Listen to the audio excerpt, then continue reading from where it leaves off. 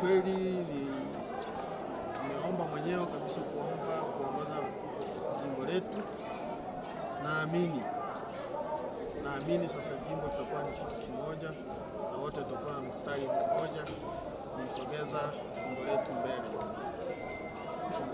Okay. Na tunaelekea pia serikali za mitaa. Uta- utakuwa umejipanga vipi tayari? Tunaona umeshinda. Umejipanga vipi? Mimi mwenyewe kwanza nimeongoza serikali za mitaa kwenye kijiji changu. Naamini uzoefu ule nitau- nitauleta kwenye jimbo, nilivyoshawishi watu mpaka nikapata kijiji. Naamini basi jimbo langu litachukuliwa na Chadema bila wasiwasi, kwa sababu ya uzoefu. Na wajumbe unawaambia nini baada ya kuchagua wewe kama mwenyekiti wa jimbo la Tarime vijijini? Wajumbe, unachowaambia ni wote tu timu moja, hatuhitaji mtu kuwa zaidi ya mwingine, wote tuwe timu moja, mwenye jambo, mwenye wazo, mwenye ushauri na nini, tuwe kitu kimoja, ili tupige hatua wote, hatua moja kwenda mbele, tukiwa kama timu moja. Ah, Tumekuwa tukiona viongozi wanachaguliwa lakini baadaye wanaunga juhudi. Wewe kama kiongozi ambaye tayari umechaguliwa, ah, nini mikakati yako kuhakikisha unaendelea kulinda chama na kulinda misingi ya chama?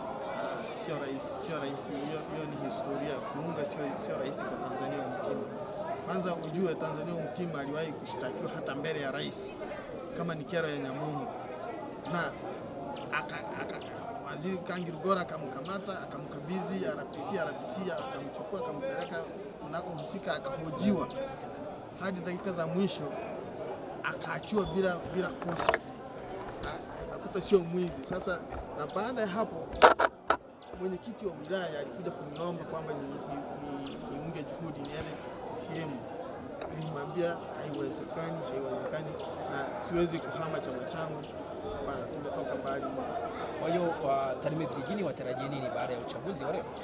Tarime vijijini watarajie kuchukua halmashauri ya wilaya na watarajie kuchukua yani, yani wachukua, eh, kuchukua halmashauri ya wilaya ina maana kuchukua serikali za mitaa, na baada ya serikali za mitaa naamini na- hata ubunge tunachukua na taifa tunabeba.